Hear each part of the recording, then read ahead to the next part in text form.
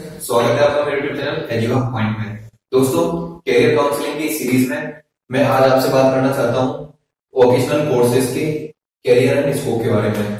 Friends मैंने जो पहली वीडियो बनाई थी, मैंने उसमें आपको बताया था कि आप टेंथ क्लास के बाद आगे क्या करें, कौन से सब्जेक्ट आप चूज़ कर सकते हैं। तो उसमें साइंस कॉमर्स आर्ट्स और एक चौथा पॉइंट था वोकेशनल कोर्सेज तो दोस्तों वोकेशनल कोर्सेज की क्या होते हैं इनमें क्या करियर है, क्या स्कोप आगे रहता है, इन सब के बारे में आपको आज बताऊँगा।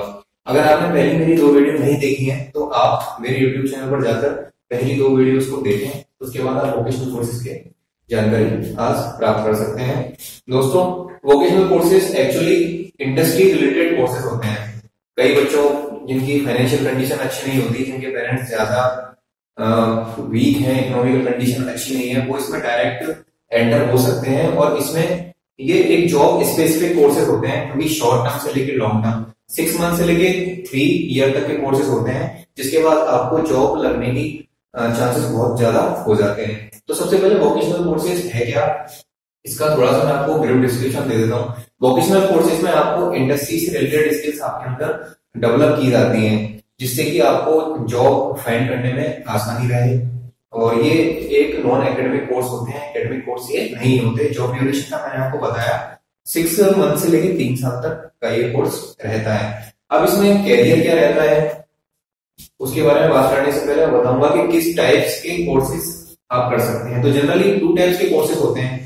जैसे कि आपने देखा है तो मैन्युफैक्चरिंग सेक्टर होता है, एक सर्विस सेक्टर होता है। तो सर्विस सेक्टर में आप कर सकते हैं हॉस्पिटलिटी मैनेजमेंट कर सकते हैं और आप ग्राफिक डिज़ाइनिंग कोर्स कर सकते हैं web designing food technology etcetera ये सब कोर्सेज आप हेल्थ केयर में भी कर सकते हैं। इसके अलावा मैन्युफैक्चरिंग सेक्टर या रिपेयरिंग सर्विस रिपेयरिंग सेंटर हो सकता है, जैसे कि ऑटोमोटिव रिपेयर में आप जाकर कोर्स कर सकते हैं, जिसमें आपको गाड़ियों को मेंटेनेंस सुधारने का सुधारने का कोर्स उसमें करवाया जाता है। इसके अलावा plumbing heating refrigerator and air conditioning में आप कोर्स कर सकते हैं।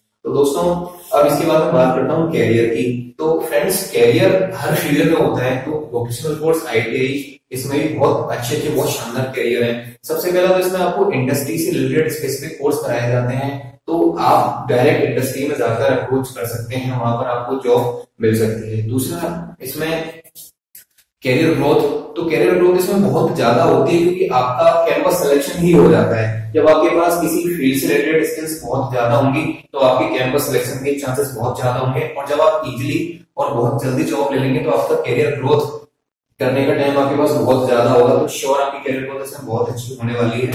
और आप एक लो लेवल पर एंटर करके बहुत एक कंपनी में बहुत हाई लेवल तक पहुँच सकते हैं। तीसरा, इसमें डिमांड ऑफ़ स्किल्ड एम्प्लॉय तो स्किल्ड एम्प्लॉय की डिमांड हमेशा हर इंडस्ट्रीज़ में बनी रहती है और आज के सिनेरियो में बहुत ज़्यादा स्किल्ड एम्प्लॉयर की डिमांड है क्योंकि इंडस्ट्रीज़ को सर्विस सेक्टर में इस तरह के एम्प्लॉय नहीं मिल पा रहे हैं जिनकी उनको रिक्वायरमेंट है। अगर आप किसी स्किल में बहुत ज़्यादा महारत हासिल कर लेते हैं तो आपकी जॉब तो कंफर्म है ही और आपकी डिमांड भी बहुत ज़्यादा रहेगी। तो इस वजह से कंपटीशन कम होने के कारण आपका पैकेज भी हाई होने के चांसेस रहते हैं। दूसरा स्किल्ड एम्प्लॉय की डिमांड इसलिए भी ज़्यादा रहती है क्योंकि कंपनीज़ को फैक्ट्रीज को इंडस्ट्रीज़ को ट्रेनिंग प्रोवाइड नहीं करानी पड़ती। अगर आप हाई ग्रेजुएट हैं, आपके पास ट्रेनिंग नहीं है, आपने ट्रेनिंग नहीं की हुई है कोई सर्टिफिकेट ऐसा नहीं है तो आपको हायर इजिली नहीं किया जाएगा।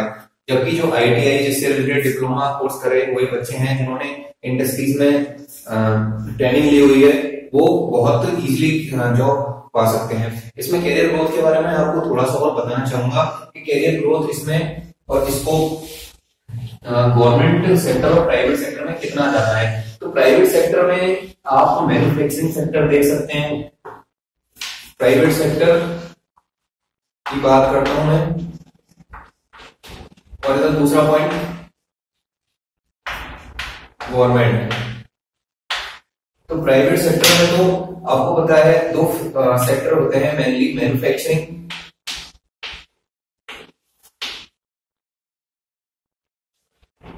एक होता है सर्विस सेक्टर तो मैन्युफैक्चरिंग का आपको है जहाँ पर प्रोडक्शन किया जाता है सर्विस सेक्टर जहाँ पर कोई सर्विस फैसिलिटी दी जाती है। तो सर्विस सेक्टर में मैंने आपको बताया था हॉस्पिटलिटी मैनेजमेंट हो सकता है फ़ूड टेक्नोलॉजी वेब डिज़ाइनिंग ये कोर्सेज हैं, जहाँ पर आपको जॉब लगने के चांसेस बहुत अच्छे होते हैं। आज के सैनरियो में कंप्यूटर का स्कोप बहुत ज़्यादा है आप वेब डिज़ाइनिंग एप डेवलपमेंट आदि अगर इसमें कोई वोकेशनल कोर्स करते हैं तो आपको श्योर जॉब मिलेगी और जॉब के बाद आपके करियर की ग्रोथ बहुत अच्छी रहने वाली है। मैन्युफैक्चरिंग सेक्टर में जैसे आप ऑटोमोबाइल्स में जा सकते हैं, या फिर कोई प्रोडक्शन यूनिट्स में आप अप्लाई कर सकते हैं। गवर्नमेंट सेक्टर में बहुत सारी वैकेंसीज निकलती है वोकेशनल कोर्सेज वालों के लिए जनरली आईटीआई डिप्लोमा वालों के लिए। वो है पीएसयूज पब्लिक सेक्टर अंडरटेकिंग्स यहाँ पर बहुत अच्छी सैलरी आपको मिल सकती है बहुत ज़्यादा होते हैं।